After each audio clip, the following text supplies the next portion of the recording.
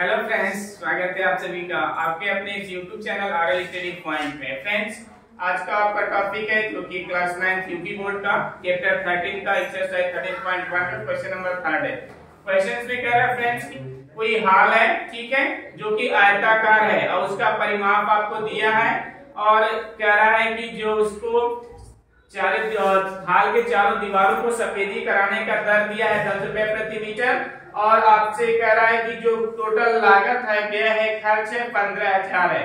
कह रहा है, बताइए इस हाल की ऊंचाई क्या होगी, ठीक है? तो आप क्या करेंगे? जो भी दिया है, आयताकार हाल का परिमाप 250 मीटर।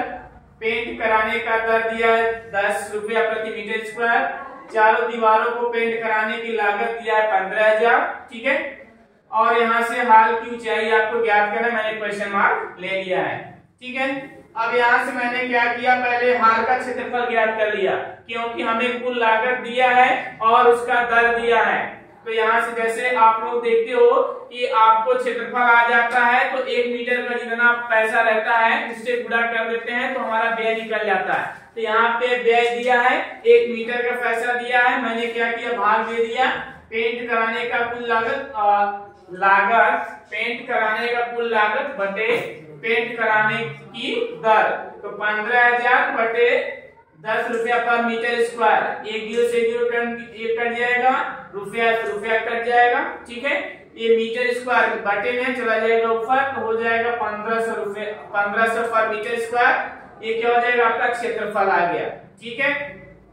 अब क्या होता है? चारों दीवारों का क्षेत्रफल जो होता है, ये आपका आ गया कितना? पंद्रह सौ मीटर स्क्वायर। और फार्मूला होता है दो कोष्टक में लंबाई, धन, चौड़ाई पूरे ऊंचाई। चारों दीवारों का क्षेत्रफल है कितना? 1500 मीटर स्क्वायर।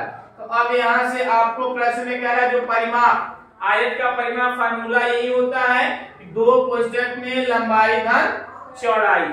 तो यहाँ से 250 मीटर पूरे एच बराबर 1500 मीटर स्क्वायर एच बराबर ये दोनों क्या हो जाएगा? पक्षांतर करेंगे।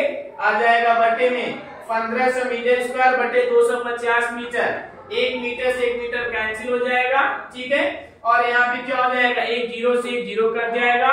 बचेगा 150 150 को 25 से भाग देंगे तो 25 छह का डेढ़ सौ छह मीटर। ये क्या हो जाएगा आपका? जो हार है उसकी ऊंचाई। ओके फ्रेंड्स अगर वीडियो आपको पसंद आया हो, अगर आपको लगता है कि आपको थोड़ी बहुत जानकारियाँ मिल रही है, ज़्यादा कुछ नहीं कह सकते तो आप वीडियो को लाइक सब्सक्राइब और शेयर करना नहीं भूलिएगा। Thank you